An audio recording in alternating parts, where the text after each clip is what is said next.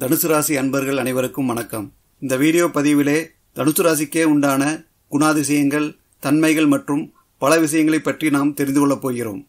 தனுசு ராசி என்பது காலபுருஷ சக்கரத்திலே அமைந்திருக்கக்கூடிய பனிரெண்டு ராசிகளில் ஒன்பதாவது ராசியாக வருகிறது. இது பாக்கியஸ்தானமாகும்.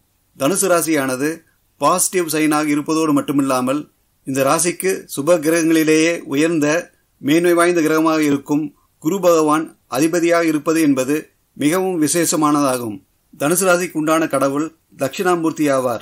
மூலம் பூராடம் முழு நட்சத்திரங்கள் மற்றும் உத்ராடம் முதல் பாதம் மட்டும் கொண்ட மூன்று நட்சத்திரங்களை உள்ளடக்கியதாக இந்த தனுசு ராசி அமைந்திருக்கிறது. தனுசு ராசி என்பது நெருப்பு ராசியாகும். பனிரெண்டு ராசிகளிலேயே மேச ராசியும் சிம்ம ராசியும் கூட நெருப்பு ராசிகள்தான். அப்படியென்றால் இந்த மூன்று ராசிகளும் ஒரே தன்மையுள்ள நெருப்பு ராசிகளா என்று கேட்டால் அப்படி இல்லை என்பதுதான் சொல்ல வேண்டும். அது ஏற்படுத்தும் விளைவுகளை பொறுத்து ராசியின் தன்மைகள் மாறுபடும். உதாரணமாக அடுப்பில் எரியும் நெருப்பு உணவு சமைக்க பயன்படுகிறது. ஆனால் காட்டில் எரியும் நெருப்பானது அங்கு வளர்ந்திருக்கும் மரம் செடி கொடிகளை அழிப்பதுடன் அங்கு வாழ்ந்து கொண்டிருக்கும் உயிரினங்களையும் சேர்த்து அழிக்கிறது. இரண்டு விளைவுகளும் ஒரே நெருப்பால் தான் உண்டாகிறது. ஒன்று உணவு சமைத்து நன்மை தருகிறது. இன்னொன்று காட்டுத்தீயாக வனத்தையே அழித்து நாசமாக்குகிறது. அப்படி என்றால் தனுசு ராசியின் நெருப்பு என்கிற தன்மை எதை குறிக்கிறது என்றால் அது ஒளி தரும் விளக்கில் உள்ள தீபத்தை குறிக்கிறது. இருள் என்கிற அஞ்ஞானத்தை அழித்து ஞான ஒளியை பிரகாசிக்கச் செய்யும் நெருப்பை குறிக்கிறது.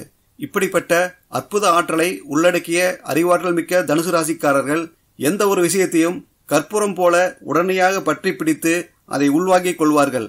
வேலை செய்யும் இடத்திலே தனக்கிட்ட பணியை சரியாக புரிந்து கொண்டு அதை வெற்றிகரமாக முடித்து காட்டுவதில் வல்லவர்களாக இருப்பார்கள். இவர்களுடன் போட்டி போட்டு ஜெயிப்பது என்பது அவ்வளவு சுலபமானதல்ல.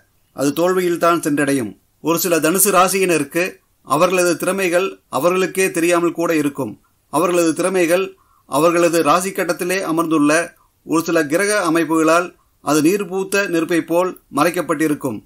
இவர்கள் அந்த சாம்பலை நீக்கி அந்த கனலை வெளிக்கொண்டு வரும்போது இவர்களிடமிருந்து வியத்தகு ஆற்றலும் அறிவும் வெளிப்பட்டு வெற்றியாளர்களாக சாதனையாளர்களாக பரிணமிப்பார்கள் என்பதுதான் யதார்த்தமான உண்மையாகும். யார் ஒருவர் மற்றவர்களை புரிந்து கொள்வதை விட தன்னை முதலில் புரிந்து கொள்கிறார்களோ அவர்கள்தான் சாதனை படைக்கிறார்கள். இந்த இயற்கையாக உருவான அடிப்படை தன்மையை தனுசு ராசியின் அடையாளத்தை வைத்தே நாம் தெரிந்து கொள்ளலாம். வில்லை ஏந்திய பாதி மனிதன் குதிரையின் மேல் ஏறி அமர்ந்திருப்பதைப் போல அடையாள சின்னத்தை கொண்டதாக இந்த தனுசு ராசி பெற்றுள்ளது. பொதுவாக குதிரைகள் கரடுமுரடான பாதைகளில் எளிதாக செல்பவைகளாகவும் நீண்ட நெடுதூரம் சளைக்காமல் ஓடுபவைகளாகவும் மிகப்பெரிய பாரங்களை கட்டி எடுத்துச் செல்லும் திறன் படைத்தவைகளாகவும் இருக்கின்றன. அதற்கு அதனுடைய வலுவான உடல் அமைப்பும் பலமான கால்களுமே காரணமாகும். அதனால்தான் நாம் பயன்படுத்தும் மின் மோட்டாரின் திறனை அறிந்து கொள்ள குதிரை திறனை அளவீடாக எடுத்துக்கொள்கிறோம். அதாவது ஆஃப் ஹெச்பி குவார்டர் ஹெச்பி என்று நாம் சொல்கிறோம். இங்கு ஹெச்பி என்பது ஹார்ஸ் பவரை குறிக்கிறது. அத்தகைய குறியீட்டை அடையாளமாக கொண்ட தனுசு ராசிக்காரர்கள் எத்தகைய கடுமையான பிரச்சனைகள் வந்தாலும் அதை கண்டு அஞ்சி ஓடாமல் எதிர்கொண்டு அதை தாங்கி வெற்றிகரமாக தீர்த்து வைப்பார்கள். தனுசு ராசி என்பது ஆண் ராசியாகும். ஆணிற்கே உரிய வீரமும் தைரியமும் கொண்ட மனிதன் ஏந்தி இருக்கும் வில்லில் உள்ள கூர்மையான அம்பு எதை குறிக்கிறதென்றால் இவர்கள் எப்போதும் லட்சிய நோக்குடனே செயல்படுபவர்களாக இருக்கிறார்கள் என்பதை குறிக்கிறது. தனுசு ராசிக்காரர்கள் எத்தனை பேருடன் பழகினாலும் ஏதாவது ஒரு காரியத்தை லட்சியமாக மனதில் வைத்து செயல்பட்டு கொண்டே வருவார்கள். இவர்கள் எங்கேயோ இருந்து குறிவைத்துக் கொண்டு தக்க சந்தர்ப்பம் வரும்போது அதை பயன்படுத்தி வெற்றியும் காண்பார்கள். இதனால் இவரை சிலர் காரியவாதி என்று அழைப்பார்கள் பட்டமும் சூட்டுவார்கள். ஆனால் இவர் உண்மையிலேயே காரியவாதி அல்ல லட்சியவாதி என்பதை இவரை பற்றி புரிந்தவர்களுக்கு மட்டுமே தெரியும். ஏனென்றால் தனுசு ராசிக்காரர்கள் வெற்றி பெற்றால் அது மற்றவர்களுக்கு சேர்த்து நன்மை தருமே தவிர தீமைகள் தராது. இது எப்படி என்றால் எரிந்து கொண்டிருக்கும் விளக்கை பயன்படுத்தி புதிதாக மற்ற விளக்குகளில் தீபம் ஏற்றுவதைப் போலத்தான். அந்த ஒரு தீபத்தை வைத்துக்கொண்டு லட்சக்கணக்கான விளக்குகளை தீபம் போட்டு ஏற்றலாம். இதனால் மூலமாக இருக்கும் தீபத்திற்கு நன்மையோ அல்லது தீமையோ ஏற்படாது. அதை போலத்தான் தனுசு ராசிக்காரர்களை சுற்றி இருப்பவர்களுக்கு அவர் மூலம் நன்மைதான் ஏற்படுமே தவிர தீமைகள் ஏற்படாது. தனுசு ராசியினர் எப்பொழுதும் ஒரு செயலில் உள்ள நன்மையையே நம்பிக்கை வைத்து செயல்படுவார்கள். ஒரு செயலை செயல்படுத்துவதற்கு முன்பு அந்த செயலினால் நன்மை ஏற்படுமா அல்லது தீமை ஏற்படுமா என்பதை இரண்டு பக்கங்களிலிருந்தும் அலசி ஆராய்வார்கள். அதனால் உடனடியாக முடிவெடுக்காமல் சில நேரங்களிலே சற்று திணறுவார்கள். அது நன்மை தருவதாய் இருந்தால் அதை லட்சியமாக எடுத்துக்கொண்டு உடனடியாக அதை அடையும் பொருட்டு களத்தில் இறங்கிவிடுவார்கள். இப்படி பெரும்பாலும் எதிர்காலத்தை வைத்தே திட்டமிட்டு செயல்படுவதால் நிகழ்காலத்தில் நடக்கும் அன்றாட நிகழ்வுகளை பெரிதாக எடுத்துக்கொள்ள மாட்டார்கள். இதனால் குடும்பத்தில் உள்ள உறுப்பினர்கள் இவர்கள் அன்றாட தேவைகளுக்கு கூட உதவி செய்ய வருவதில்லையே என்று சங்கடப்படுவார்கள். எதிர்கால திட்டங்களை மட்டுமே குறிவைத்து செயல்படும்போது மற்ற பக்கங்களிலிருந்து எதிரிகள் இவர் மீது குறிவைத்துக் கொண்டிருப்பதை தனுசு ராசிக்காரர்கள் கவனிக்க தவறிவிடுவார்கள். இதனால் எதிரிகளின் தொல்லைக்கு ஆளாகி துன்பமும் துயரமும் அடைவார்கள். இவர்களுக்கு உருவாகும் எதிரிகளை நேருக்கு நேர் மோதாமல் அதாவது அடிதடி சண்டை போன்றவற்றில் ஈடுபடாமல் அவர்களை சட்ட ரீதியாக வழக்குகள் தொடுத்து அவர்களை உண்டு இல்லை என்றாக்கி விடுவார்கள். எதிரிகளுக்கு சிம்ம சொப்பனமாகி விடுவார்கள். தனுசு ராசிக்காரர்கள் பொதுவாக ரிஷபம் கடகம் விருச்சிக ராசியினரிடம் கவனமாக பழகுவது நல்லது. ரிஷப ராசிக்காரர்களை கூட ஜமாளித்து விடுவார்கள். ஆனால் கடகம் விருச்சம் ராசிக்காரர்களை ஜமாளிப்பது என்பது சற்று கடினமானதாகும். எப்பொழுதுமே ஜோவிகளாக சிரித்து பேசி பழகுவதால் இவர்களுக்கு நண்பர்கள் கூட்டம் சற்று அதிகமாகவே இருக்கும். குடும்பத்திலும் நண்பர்கள் மத்தியிலும் இவரே சென்டர் ஆஃப் அட்ராக்ஷன் ஆக இருப்பார். அதாவது மைய ஈர்ப்பு சக்தியாக விளங்குவார். தனக்கு கொடுக்கப்படும் வேலையை எப்பாடு பட்டாவது முடித்துக் கொடுப்பார்கள். பாதியிலே விட்டு செல்லும் பழக்கம் இவர்களுக்கு கிடையாது. இவர்களுக்கு கீழே பணிபுரிபவர்களை மிகவும் நேர்த்தியாக வழிநடத்தி வேலை செய்ய வைப்பதில் இவர்கள் திறமைசாலிகளாக இருப்பார்கள். பொதுவாக தனுசு ராசியினர் ஒர்க்கஹாலிக்காக இருப்பார்கள். தனுசு ராசிக்காரர்கள் இயற்கையாகவே அறிவாற்றல் உள்ளவர்களாக இருப்பதால் உயர்கல்வி படிப்பை முடித்திருப்பார்கள். ஆசிரியர் கணக்கர் நீதிபதிகள் அரசியல்வாதிகள் போன்றோர் பெரும்பாலும் தனுசு ராசிக்காரர்களாகவே இருப்பார்கள். நல்ல ஆடைகளை தேர்ந்தெடுத்து அணிந்து கொள்வார்கள். அழகான ஆடைகளை அணிவதை விட எந்த ஆடைகள் தனக்கு மதிப்பும் மரியாதை தருமோ அந்த ஆடைகளையே தேர்ந்தெடுத்து அணிவார்கள். மெல்லிய வாசனை தரக்கூடிய திரவியங்களை பயன்படுத்துவார்கள். தனுசு ராசிக்காரர்கள் எப்பொழுதும் கடவுள் மற்றும் சமய சம்பிரதாயங்களில் அதிக நம்பிக்கை கொண்டவர்களாக இருப்பார்கள். தனுசு ராசிக்காரர்கள் தாங்கள் நினைத்தது போல் வாழ்க்கை துணையை அமைத்துக் கொண்டாலும் அவர்களை பல விதங்களிலே அனுசரித்துத்தான் வாழ்க்கை முழுவதும் செல்ல வேண்டியிருக்கும். தனுசு ராசிக்கு ஏழாம் இடம் களத்திரஸ்தானமாகிய மிதுன ராசி அமைகிறது. மிதுன ராசியின் அதிபதி புதன் ஆவார். புதனுக்கு தனுசு ராசியின் அதிபதி குரு சமம் என்கிற நிலையில் உள்ளார். ஆனால் முழு சுபரான குருவிற்கு புதன் எதிரி என்கிற நிலையிலே உள்ளார். தனம் புத்திரக்காரனான குருவோ அனைத்து விஷயங்களையும் அறிந்த ஞானியாக அமைதியின் சுரூபமாக இருப்பார். கல்வி புத்திக்காரனான புதனோ தன் அறிவாளித்தனத்தை காண்பித்துக் கொண்டே இருப்பார். வந்த துணை சும்மா இருக்காமல் மேதாவி போல் கேள்வி மேல் கேள்வி கேட்டு கடுப்பேற்றிக் கொண்டே இருப்பார். குடும்பத்தில் ஏற்படும் பிரச்சனைகளை தான் தீர்த்து வைக்கிறேன் என்று பலவிதமான வித்தைகளை பயன்படுத்துவார்.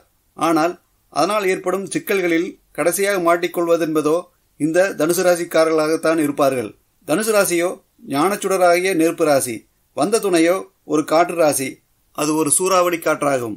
அமைந்த துணையோ தென்றலாக இருக்கும் வரை ஆனந்தம்தான். ஆனால் சூறாவளியாகும் போது தனுசு ராசிக்காரர்களின் சித்தம் கதிகலங்கி போய்விடும். பொதுவாக பல விஷயங்களில் இருவரும் பாசிட்டிவ் திங்கிங்குடன் செயல்பட்டு எதிர்கால திட்டங்களை தீட்டி அதை ஒன்றாக இணைந்து வெற்றிகரமாக செயல்படுத்தி சாதிப்பார்கள். சில நேரங்களில் தனுசு ராசிக்காரர்களின் வாழ்க்கை துணையானவர் மந்திரிகள் போல் செயல்பட்டு பிரச்சனைகளை தீர்த்து வைத்து ஆச்சரியப்படுத்துவார்கள்.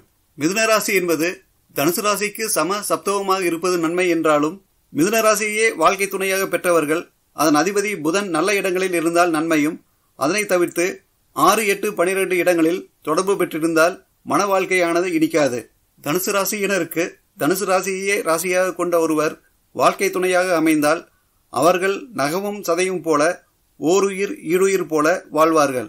தனுசு ராசியினருக்கு திரிவோணஸ்தானமாகிய மேசம் சிம்மம் ராசிகளை கொண்டவர்கள் வாழ்க்கை துணையாக அமைந்தால் அவர்களது இல்வாழ்க்கையானது சீரும் சிறப்புமாக விளங்கும். தனுசு ராசிக்கு ஐந்தாம் இடமான மேசராசியானது இவருடைய மாமனார் மாமியாரை குறிக்கிறது.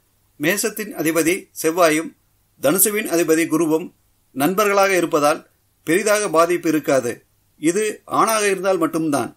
அதுவே தனுசு ராசிக்காரர்கள் பெண்களாக இருந்தால் மாமனார் மாமியார் மூலம் சிறு சிறு பிரச்சனைகள் போராட்டங்கள் ஏற்படும். ஆனால் தனுசு ராசியில் பிறந்த பெண்களும் இயற்கையிலேயே ஞானம் படைத்தவர்கள் அல்லவா? தன் மாமனார் மாமியாருக்கு எது பிடிக்குமோ அதன்படியே செய்து தங்கள் வழிக்கு கொண்டு வந்து விடுவார்கள்.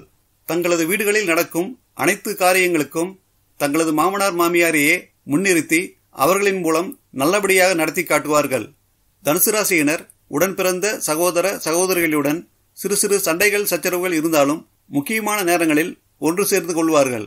தனுசு ராசியினர் தாய் தந்தையருடன் மிகுந்த பாசம் கொண்டவர்களாக இருப்பார்கள். இவர்களுடைய தாய் இவர்களுக்கு இன்னொரு ஆசானாக இருப்பார். இவர்களுக்கு என்ன பிரச்சனைகள் வந்தாலும் அவருடைய தாயாரிடம் கொட்டி தீர்ப்பார்கள்.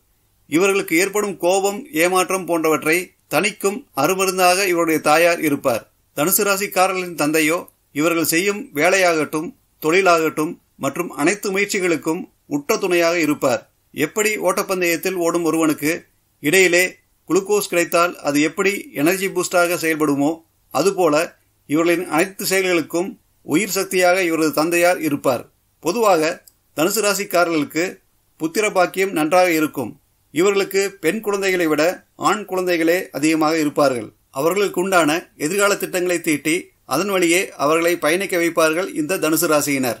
தனுசு ராசிக்கு ஐந்தாம் இடம் என்பது புத்திரஸ்தானமாகிய மேசராசியாகும். தனுசு ராசியோ ஞானச்சுடர். மேசராசியோ காட்டுத்தீ. தனுசு ராசியால் பற்றி வைத்த நெருப்பு காற்றுத்தீ போல் கட்டுக்கடங்காமல் பற்றி எறிய ஆரம்பித்துவிடும். அதாக அணைந்தால்தான் உண்டு. பிறகு என்ன? பெற்றோர்களின் திட்டத்தை செயல்படுத்தி காட்டும் வல்லபர்களாக தனுசு ராசினியர் குழந்தைகள் விளங்குவார்கள். ஆனால் மேசத்தின் அதிபதி செவ்வாய் கெட்டிருந்தால் நிலைமை தலையில்தான் தமது ஆசைகளுக்கு தமது குழந்தைகளை பலிகடா ஆக்குகிறோம் என்பதை தனுசு ராசிக்காரர்கள் புரிந்து கொண்டால் அது நல்லதுதான். பொதுவாக தனுசு ராசியினர் பெரும்பான்மையான நேரங்களை தனது மனைவி மற்றும் குழந்தைகளுடனே செலவிட விருப்பப்படுவார்கள். உருவ அமைப்பிலே தனுசு ராசிக்காரர்கள் சற்று உயரமாக இருப்பார்கள். தோள்கள் சற்று வளைந்திருக்கும். தடித்த அல்லது நல்ல சதைப்பற்றுடன் கூடிய அழகான உருவ அமைப்பு கொண்டவர்களாக இருப்பார்கள். நீள்வட்ட முகத்தையும் நீண்ட மூக்கு மற்றும் கழுத்தையும் கொண்ட இவர்களின் தலைமுடியானது பழுப்பு நிறத்தில் இருக்கும். வயதாவதற்கு முன்பே இவர்களின் தலைமுடி கொட்ட ஆரம்பித்துவிடும். மென்மையாக பேசும் இவர்களின் முகத்தில் எப்போதும் புன்னகை தவழ்ந்திருக்கும். பெரிய பற்கள் மற்றும் வலுவிழந்த நகங்களை உடையவர்களாக இருப்பார்கள். கண் பார்வை குறைபாட்டினால் கண்ணாடி அணிய நேரிடும். கடுமையான வேலைப்பழு மற்றும் கவலைகள் ஆகியவற்றால் நரம்பு சம்பந்தமான நோய்கள் ஏற்பட வாய்ப்புள்ளது. சளி ஆஸ்துமா மற்றும் நுரையீரல் சம்பந்தமான நோய்கள் ஏற்படலாம். பிற்காலத்திலே சர்க்கரை நோய் மற்றும் ஒபிசிட்டி என்கிற உடல் எடை அதிகமாதல் போன்ற நோய்களால் அவதிப்பட நேரிடும். முறையான உணவு பழக்க வழக்கத்தையும் நல்ல உடற்பயிற்சி செய்வதன் மூலம் இந்த நோய்களில் இருந்து விடுபடலாம். தனுசு ராசியினருக்கு கிழக்கு வாசல் வீடுகள் நன்மை தரும். இவர்களுக்கு டோபாஸ் என்று சொல்லக்கூடிய கனக புஷ்பராகக்கல் அதிர்ஷ்டக்கல்லாகும். தங்கத்தினால் செய்யப்பட்ட மோதிரத்தில் கனக புஷ்பராகக்கல்லை பதித்து வலதுகை ஆள்காட்டி விரலில் அணிந்தால் அதிர்ஷ்டம் கிடைக்கும். என்ன நண்பர்களே இந்த வீடியோ பதிவு உங்களுக்கு பிடித்திருக்கும் என்கிற நம்பிக்கையிலே எல்லாம் வல்ல இறைவனின் ஆசியுடன் மீண்டும் ஒரு வீடியோவில் மீண்டும் சந்திப்போம். உங்களது மேலான கருத்துக்களை கமெண்ட் பாக்ஸிலே பதிவு செய்யுமாறு அன்புடன் கேட்டுக்கொள்கிறேன். நன்றி வணக்கம்.